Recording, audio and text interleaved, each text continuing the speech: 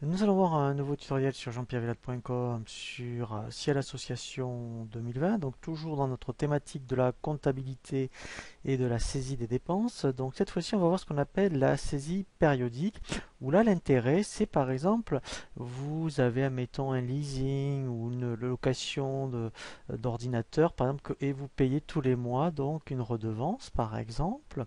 Eh bien en fait, on peut programmer, euh, je dirais, ces échéances et c'est lui-même en fait tous les mois qui va passer l'écriture à votre place. Donc concrètement en fait donc ça se passe comme de la façon suivante. Donc dans le menu comptabilité dépenses, alors on va voir mettons on peut toujours rester en simplifié. Alors on a la même chose en détail. Donc là par exemple, eh bien on a un leasing ordinateur par exemple.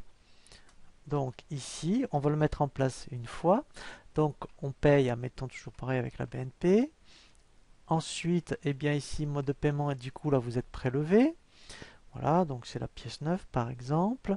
Voilà, alors on pourrait très bien créer le fournisseur. Hein, euh, donc là, ça pourrait être, mettons, une société de, euh, leasing. Hein, mettons, je mets Sauvac par exemple, c'est vraiment un exemple. Voilà. Donc ici, en fait, euh, l'intérêt, voilà, on va mettre un poste de dépense. Donc là, mettons, on va le créer, c'est un 612. Donc je mets 612.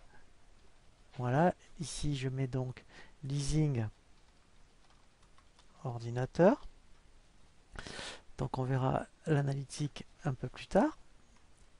Voilà, avec le montant. Donc là, ça veut dire que vous remboursez peut-être, euh, allez, c'est peut-être un peu beaucoup, 50 euros tous les mois.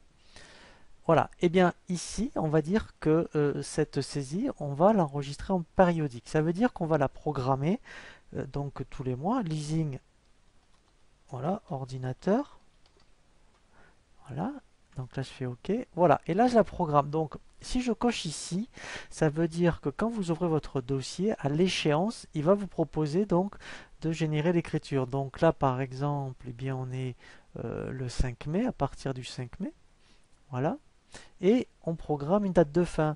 Alors ça peut être sur deux ans, par exemple, jusqu'en 2021, on va dire jusqu'au mois ici donc de décembre, donc jusqu'au 31 par exemple. Voilà. Ensuite, donc là, eh bien effectivement, parce que oui, ça peut être euh, tous les mois, les semaines, donc là c'est tous les mois. Et ici, je veux dire, c'est tout, admettons, euh, tout ici, les... Voilà, ici les 5 du mois par exemple. Ici, dans l'écriture, ça c'est bien, comme ça vous aurez le mois et l'année. Et là, on peut même dire de l'enregistrer, admettons, un jour ou deux jours avant. Et là, on peut dire, mettons, à quelle date vous avez fait la dernière écriture. Donc moi, je ne l'ai pas encore faite, donc là, je fais OK. Voilà, donc là je l'ai programmé si vous voulez. Alors je ne vais pas faire OK parce qu'il va l'enregistrer. Je fais fermer. Voilà, et donc normalement c'est effectivement, donc là si on ouvrait le dossier, donc lui après il devrait, donc euh, je dirais, eh bien donc la proposer automatiquement. Sinon après vous allez dans... Voilà, donc là j'ai fait exprès d'ouvrir le, dossier puisque je l'avais programmé le 5, donc aujourd'hui on est le 5 mai.